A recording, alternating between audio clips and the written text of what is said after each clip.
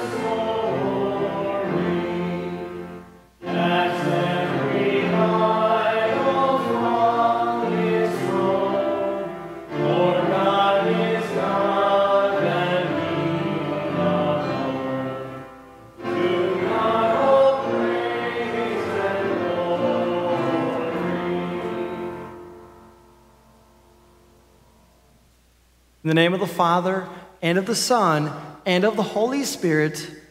Amen.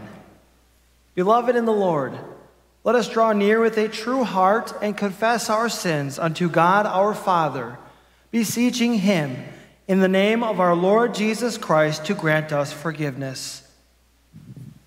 Our help is in the name of the Lord, who made heaven and earth. I said, I will confess my transgressions unto the Lord, and you forgave the iniquity of my sin. O Almighty God, merciful Father, I, a poor, miserable sinner, confess unto you all my sins and iniquities with which I have ever offended you and justly deserved your temporal and eternal punishment. But I am heartily sorry for them and sincerely repent of them. And I pray you of your boundless mercy and for the sake of the holy, innocent, bitter sufferings and death of your beloved Son, Jesus Christ, to be gracious and merciful to me a poor, sinful being. Upon this, your confession, I, by virtue of my office as a called and ordained servant of the word, announce the grace of God unto all of you. And in the stead and by the command of my Lord Jesus Christ, I forgive you all your sins in the name of the Father and of the Son and of the Holy Spirit. Amen. Be strong and let your heart take courage, all you who wait for the Lord. But I trust in you, O Lord. I say, You are my God. My times are in your hand. Rescue me from the hand of my enemies and from my persecutors. Make your face shine upon your servant. Save me in your steadfast love. Glory be to the Father, and to the Son, and to the Holy Spirit, as it was in the beginning, is now, and will be forever. Amen. Be strong, and let your heart take courage, all you who wait for the Lord. Lord, have mercy. Christ, have mercy. Lord, have mercy.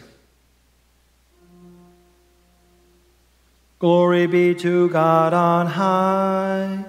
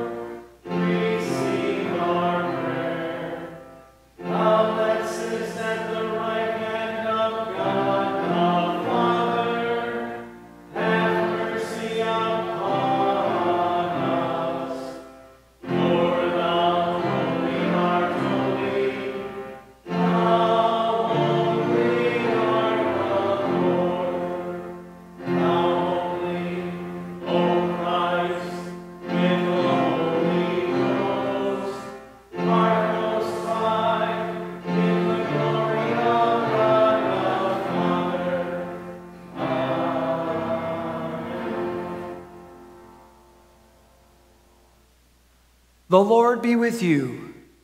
And with thy spirit. Let us pray. Almighty God, by your word you spoke creation into being, Tame our tongues and guide our words, so that we would proclaim your promises to the world. Through Jesus Christ, your Son, our Lord, who lives and reigns with you in the Holy Spirit, one God, now and forever. Amen. Congregation may please be seated.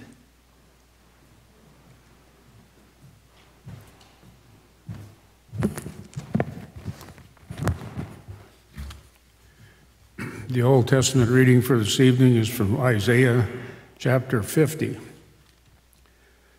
The Lord God has given me the tongue of those who are taught, that I may know how to sustain with a word him who is weary. Morning by morning he awakens, he awakens my ear to hear as those who are taught. The Lord God has opened my ear, and I was not rebellious.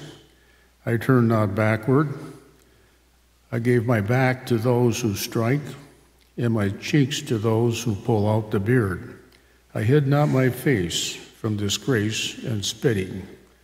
But the Lord God helps me. Therefore, I have not been disgraced, and therefore I have set my face like a flint.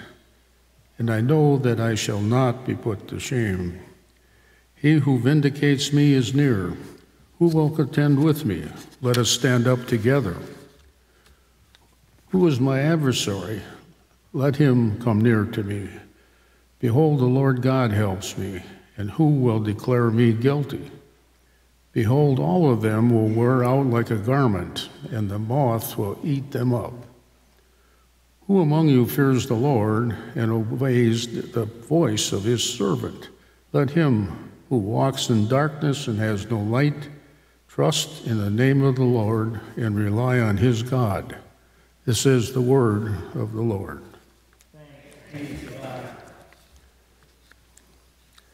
The epistle reading is from James chapter 3. Not many of you should become teachers, my brothers, for you know that we who teach will be judged with greater strictness.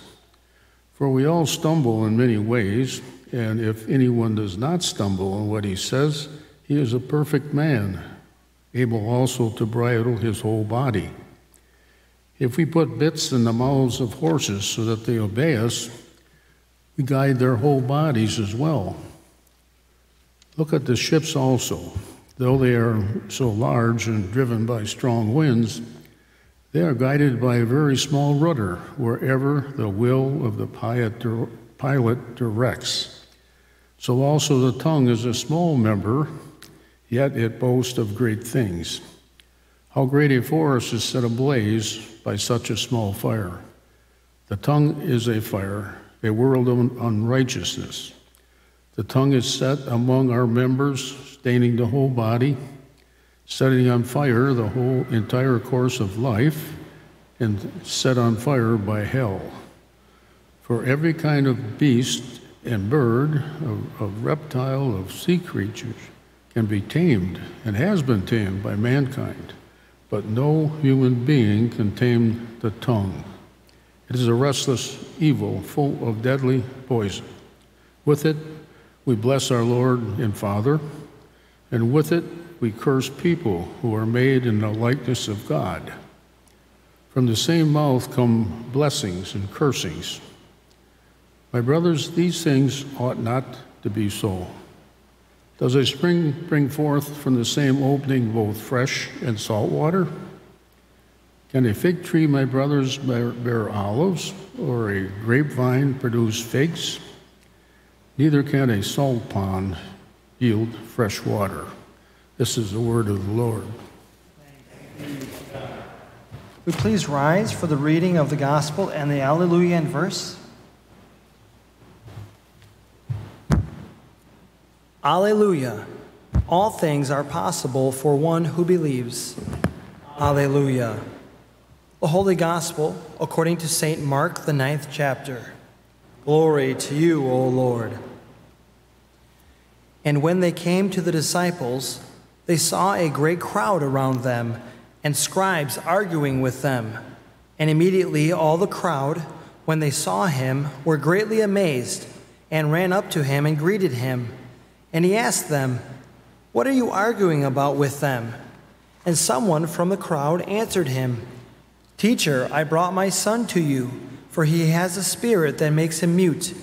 And whenever it seizes him, it throws him down, and he foams and grinds his teeth and becomes rigid. So I asked your disciples to cast it out, and they were not able. And he answered them, O faithless generation, how long am I to be with you? How long am I to bear with you? Bring him to me. And they brought the boy to him. And when the Spirit saw him, immediately it convulsed the boy, and he fell on the ground and rolled about, foaming at the mouth. And Jesus asked his father, How long has this been happening to him? And he said, From childhood. And it has often cast him into fire and into water to destroy him. But if you can do anything, have compassion on us and help us. And Jesus said to him, If you can, all things are possible for one who believes. Immediately the father of the child cried out and said, I believe, Lord, help my unbelief. And when Jesus saw that a crowd came running together, he rebuked the unclean spirit, saying to it, You mute and deaf spirit, I command you, come out of him and never enter him again. And after crying out and convulsing him terribly, it came out. And the boy was like a corpse, so that most of them said, He is dead. But Jesus took him by the hand and lifted him up, and he arose. And when he had entered the house, his disciples asked him privately, Why could we not cast it out? And he said to them, This kind cannot be driven out by anything but prayer. This is the gospel of the Lord. Praise to you, O Christ. We make bold confession of our Christian faith using the words of the Apostles' Creed. We confess I believe in God, the Father Almighty, maker of heaven and earth, and in Jesus Christ, his only Son, our Lord, who was conceived by the Holy Spirit, born of the Virgin Mary, suffered under Pontius Pilate was crucified, died, and was buried. He descended into hell. The third day he rose again from the dead. He ascended into heaven and sits at the right hand of God the Father Almighty. From thence he will come to judge the living and the dead. I believe in the Holy Spirit, the holy Christian church, the communion of saints, the forgiveness of sins the resurrection of the body, and the life everlasting. Amen. You may please be seated. We join in singing hymn 545, Word of God, Come Down to Earth.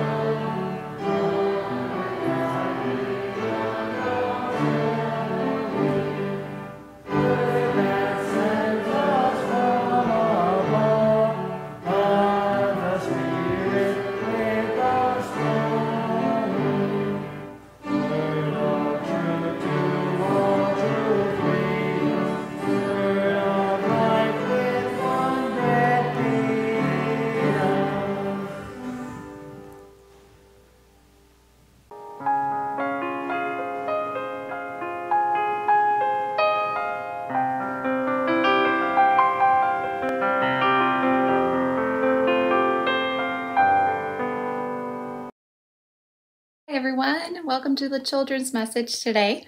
It's good to see you all. I have a little experiment for us today. So I have a bag here. It is just a regular plastic bag filled with water, and I have a pencil.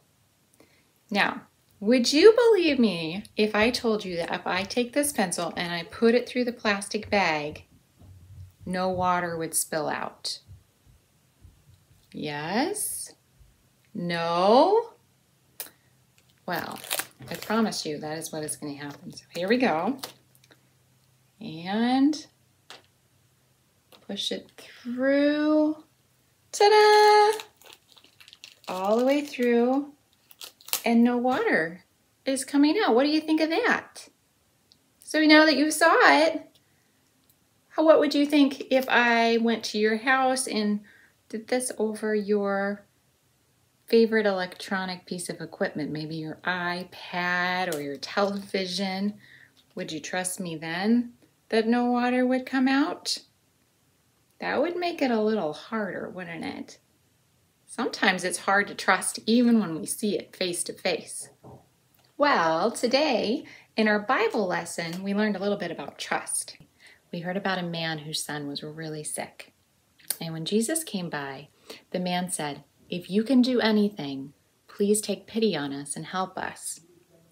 And Jesus said, If I can, anything is possible for the one who believes. And the man right away said, I do believe. Help me in my unbelief. And Jesus healed the son. And he helps us too. We're often like that man where we might not believe all the promises that Jesus gives us.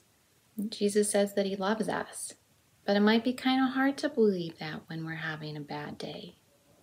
And Jesus says that he forgives our sins, and that might be kind of hard when we're feeling to, to believe when we're feeling guilty. So, in my lesson, water didn't come through just like I said. Now, Jesus' words are much stronger than mine. His words are the same yesterday, today, and forever. And He will help us when we have a hard time believing. Dear Jesus, thank you for loving us. Please help our faith grow every day and keep us close to you. In your name we pray. Amen. Grace, mercy, and peace, they are yours today. They are gifts to you from God our Father from our Lord and Savior Jesus Christ. Amen. He was a father, he loved his son. The young boy was disabled. He was not able to grow up normally. He was kept from having friends from just having fun like all the rest of the kids. He was severely afflicted, tormented, overtaken, dominated by an evil spirit, a demon. Because he was, the boy could not speak. He was thrown into convulsions. The father was desperate. Who was going to be able to help him? What could he possibly do? Frustrated and disappointed, this father was losing hope. And the darkness of doubt was setting in. Have you ever asked those questions? Maybe you face those desperate, frustrating moments when everything was out of your control.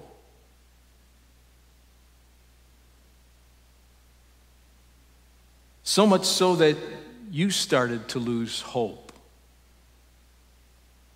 started to have the darkness of doubts settle in. Maybe that's today.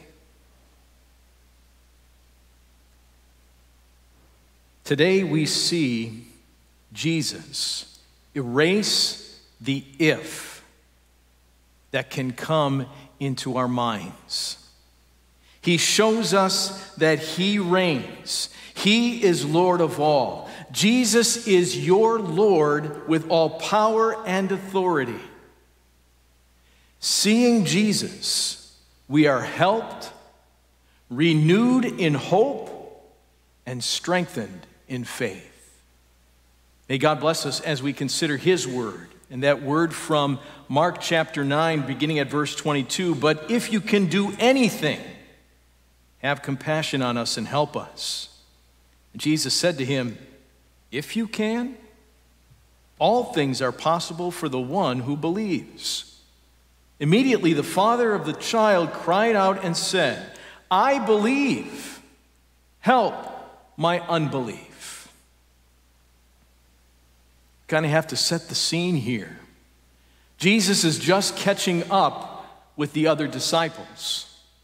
You see, he took with him Peter, James, and John and went up on the Mount of Transfiguration. And so they're just coming back from that event that happens in the beginning of chapter 9 of Mark. And so he's just getting caught up with the other disciples, just getting back, and he sees this, this heated argument taking place. And he looks at the argument and he asks the question, What are you arguing about? And there's a man in the crowd who says, I brought my boy to have a demon cast out, but your disciples could not. They tried to cast out the demon, but they were not able to. You see, they thought that they could do it on their own power. They were kind of getting a little full of themselves. They tried to cast the demon out without Jesus and without prayer. And they weren't acknowledging their weaknesses. They weren't acknowledging that they were lacking. They thought more highly of themselves than they ought.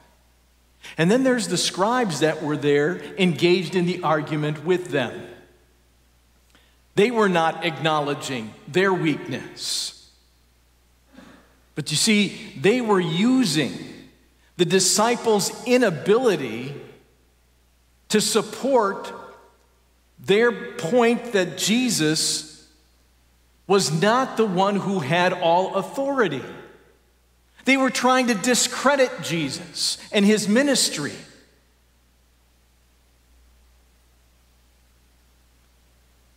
There is only one in this entire scene who acknowledges his weakness, and it's the boy's father. It's the boy's father who sees his inability, admitting that he does not have what it takes to handle the suffering, the suffering and the evil that he faces. Desperate and frustrated. Those things have welled up within him this incredible doubt. He says to Jesus, But if you can do anything, have compassion on us and help us. Jesus kind of rebukes what he says to make the point. If you can, do you know who you're talking to? if you can, anything is possible for the one who believes. And the father cried out, I believe. Help my unbelief.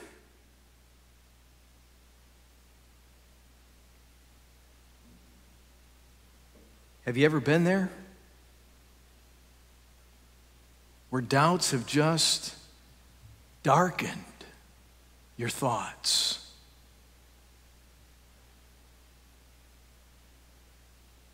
Have you acknowledged your weaknesses? the doubts and the fears that you have, the sin that so easily entangles us. Maybe it's sadness that comes by a loss.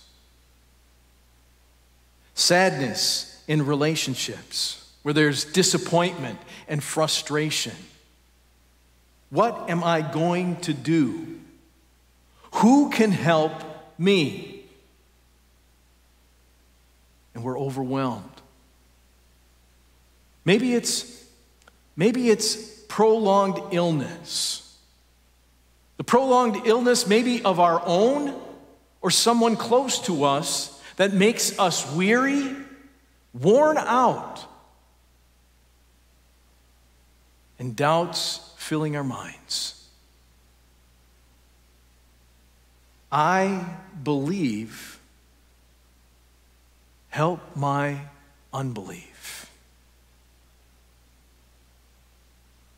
Is there any help for me? Folks, help is at hand. In so many ways, this scene in the gospel is one of the greatest helps that we have. Because it's here that we see Jesus. Jesus comes into the situation, all this arguing, and he takes command. He takes control of the situation. In whatever desperate or frustrating circumstance that we are in, we are never beyond the reach of our Savior. We are never beyond the presence of our Savior. Don't ever forget that. We are always within His reach, we are always in His presence. There is no obstacle too great for Him. Not even our doubts, not even our unbelief. Did you notice? He doesn't demand that the father of the boy produce faith enough for him to work. Rather, Jesus works and produces faith strengthens faith for the man. Only Jesus gets it done. Only Jesus takes care of it. He is the one that we can trust who acts in a powerful way in our lives. Yes, indeed, dear friends, help is at hand for us. For Jesus took control of our helpless situation. A situation where we were desperate and frustrated. He came and took control, took command. He was willing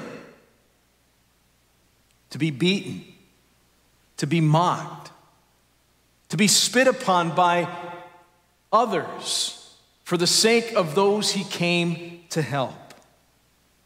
He hung on the cross to reconcile the world, to reconcile you and me. As he hung there in that darkness, he endured the ultimate darkness for us on the cross, being forsaken by God. And he emerged from the darkness of the tomb in brilliant light, alive, victorious, defeating sin, death, and the power of the devil. In him and through him, we are forgiven and we have eternal life. He has brought us help, he has brought us hope. He has taken away the doubts. Yes, dear friends, help is at hand now. Strengthened in faith. His word, His promises sustain us and strengthen us. They are that rock, that anchor for our soul that makes us secure. Because you see, it's in Jesus, the one who endured the ultimate darkness, that helps us through the darkness of our doubts, the doubts that we face in life. And He is there to say there is no if you can. But in Jesus, there is certainty, there is assurance, there is no if you can, for he has conquered and he reigns. And there is assurance and certainty for us. And we are strengthened by that assurance and that certainty in Jesus' name. Jesus feeds us here with his true body and blood, his real presence to strengthen us in faith. He comes right here in the midst of all our doubts, in the midst of everything that you're facing right now to strengthen you in faith. And Jesus, who is alive, is our help and our hope. Lord, I believe. Help my unbelief. And He does. This morning at chapel, uh, Karen played for chapel this morning. And her pre service music, as the kid, and we're doing chapel outside, as the children were coming out of the school, she was playing pre service music. And it was Savior like a shepherd lead us. And so I'm singing the words in my mind as she's playing that. Savior, like a shepherd, lead us. Much we need thy tender care. Much.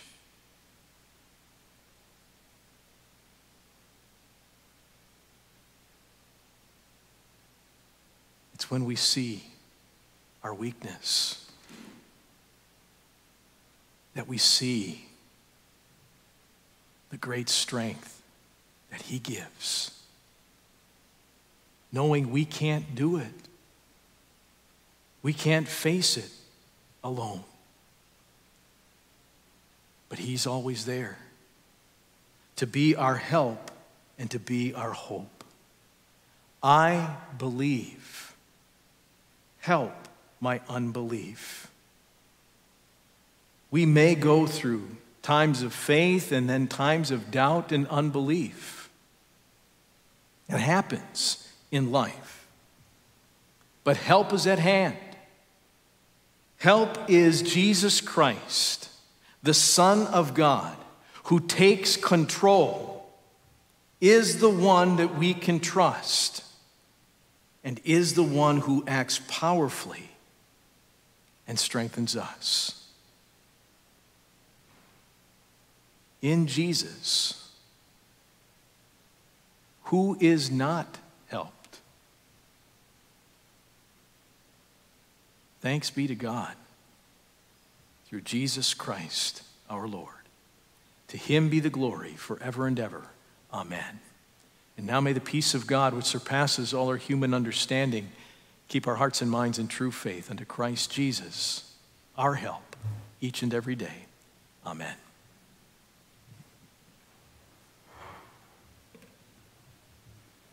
Thank you, Pastor Halke. We continue with our prayers. We stand for the prayer of the church.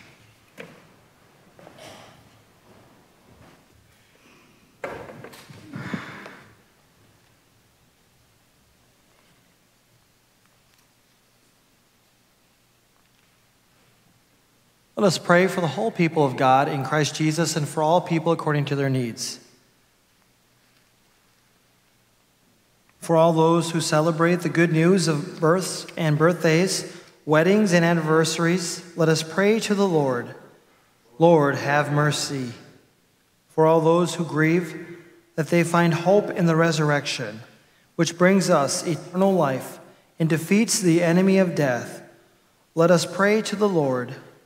Lord, have mercy.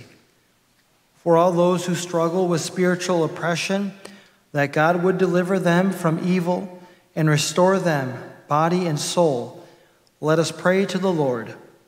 Lord, have mercy.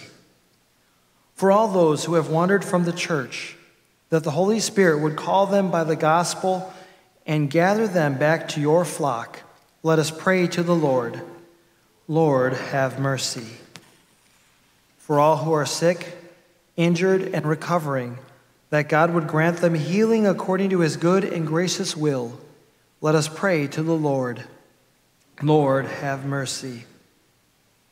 Lord, we offer all these prayers knowing that you hear us and bless us with what we need. Amen. Gracious God, you are the source of every lasting security. We bless you for the continuance of stability in a time of great national trial and ask that our nation be spared from any such act of terrorism and destruction in times to come. We remember those innocent victims of terrorism whose earthly lives ended on September 11th, 2001. Grant that their memories among us remain and their lives not be forgotten.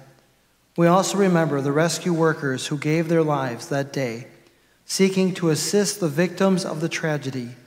Grant that their examples of bravery and sacrificial concern for others serve to inspire each of us as we live out our lives in these times.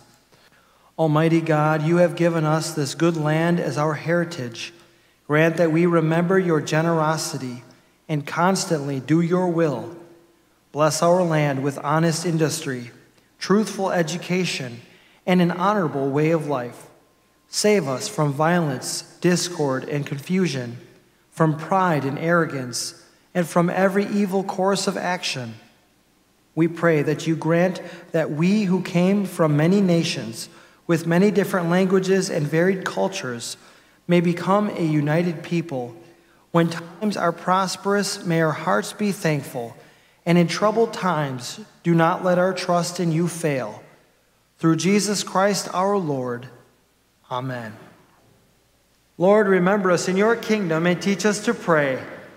Our Father, who art in heaven, hallowed be thy name. Thy kingdom come, thy will be done on earth as it is in heaven.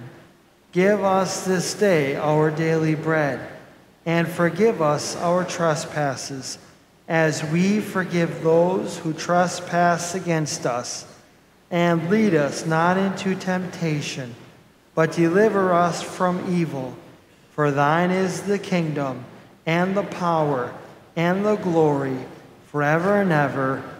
Amen. The Lord bless you and keep you.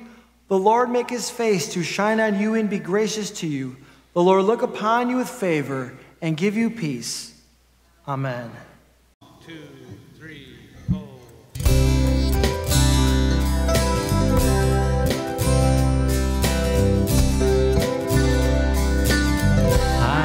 Not skill to understand. What God has willed, what God has